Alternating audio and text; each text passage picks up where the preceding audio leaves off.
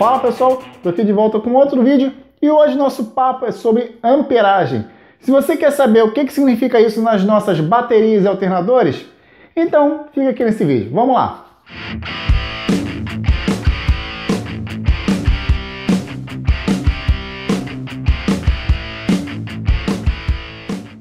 Então, pessoal, uma dúvida muito comum da galera é descobrir o que, que significa amperagem. A pessoa vê nas baterias, vê nos alternadores, mas não tem noção do que, que é exatamente.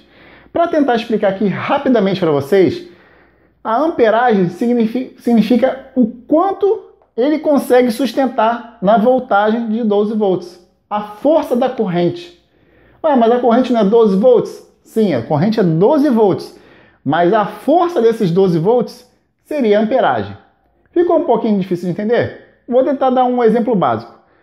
O porquê, por exemplo, eu não posso usar uma bateria de 12 volts de uma moto num carro, já que a bateria do carro é desse tamanho, né?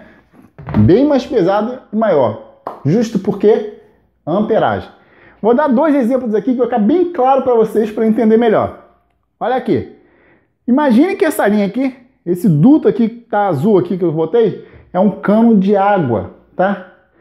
Digamos que a amperagem significa a largura desse cano e as bicas aqui seriam os aparelhos eletrônicos. Quanto maior a amperagem, mais largo o cano, mais bica eu consigo fazer abrir aqui saindo água sem que falte água para outra bica. Por exemplo, numa bateria de 40 amperes, eu vou ter um X quantidade de bicas. Na de 60 amperes já posso ter mais bicas abertas ao mesmo tempo, porque o cano que passa, que dá, alimenta elas com água é maior, consequentemente ele consegue alimentar mais torneiras abertas ao mesmo tempo. Ela não ficou muito claro?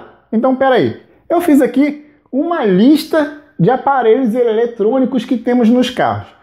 Limpadores de para-brisa, rádio, ar-condicionado, faróis, vidros, motor de arranque, ventoinha, injeção, ignição, etc. Tem várias coisas aqui e do lado tem um númerozinho, tá? Por exemplo, limpadores 5A, que seriam 5 amperes. Rádio 5 amperes. Por quê? Vamos imaginar aqui. Digamos que minha bateria de 40 amperes seja esses quatro bonequinhos aqui. Por que quatro bonequinhos? Digamos que cada bonequinho consiga levantar 10 quilos. Transforme isso para amperes. Ele consegue levantar 10 amperes cada um deles. Como eu tenho quatro bonequinhos, eu tenho 40 amperes. Então, vamos começar aqui a botar o peso. Ah, eu liguei o rádio, 5 amperes.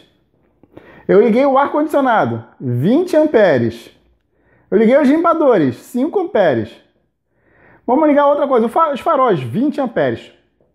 Se a gente for ver aqui o peso que eles estão sustentando, você vê que ó, 20, 20, 40, mais 10 aqui, 5 em já passou do limite dos 40 amperes da bateria. Ou seja, ela não consegue segurar todos esses aparelhos que eu falei aqui agora. Né? Um carro com injeção eletrônica mais moderno, quando você vai ligar ele, já liga de cara a ignição, a injeção e o motor de arranque. Então, ou seja, só de cara aí teríamos botar aqui um exemplo, 2 amperes da injeção, 15 amperes da, da 2 amperes da ignição, 15 amperes da injeção e 30 amperes do motor de partida. Só aqui, ó, 45 amperes, 47 amperes com 2 aqui. Ou seja, mais do que a bateria seria suficiente de suprir. Vamos fazer o mesmo exemplo com a bateria de 60 amperes. No mesmo exemplo, são seis bonequinhos que seguram 10 amperes cada um. Eu já posso botar a mesma coisa, ignição, 2 amperes, mais a injeção, 15 amperes, mais motor de arranque, 30 amperes. Para ligar o carro. Você vê, ó, 30, 45, 47 amperes. Ou seja, a bateria conseguirá dar suprir esses 40 amperes com facilidade, porque ela é de 60 amperes então, não haverá problemas em dar esses 12 volts a 47 amperes. Entenderam agora o que significa a amperagem? Quando você começa a chegar no limite da amperagem da bateria. Nesse caso aqui, por exemplo, passamos de 47 amperes, 40 amperes, desculpa, a bateria já não consegue suprir esses 12 volts e a tensão vai caindo, fazendo o que? Gerar problemas e instabilidade ou até desligar algum sistema elétrico. Porque, por exemplo, vamos botar a injeção eletrônica. Se chegar a 10 volts, provavelmente ela já não vai funcionar perfeitamente e o carro vai morrer. Entenderam agora o que significa a voltagem e a amperagem? É isso aí, pessoal. Espero ter gostado. Gostou? Deixe seu like. Se tiver uma dúvida, só comentar, beleza? Ah, se não é inscrito no canal, se inscreve aí para dar aquela forcinha. Valeu, abraço a todos e tchau, tchau.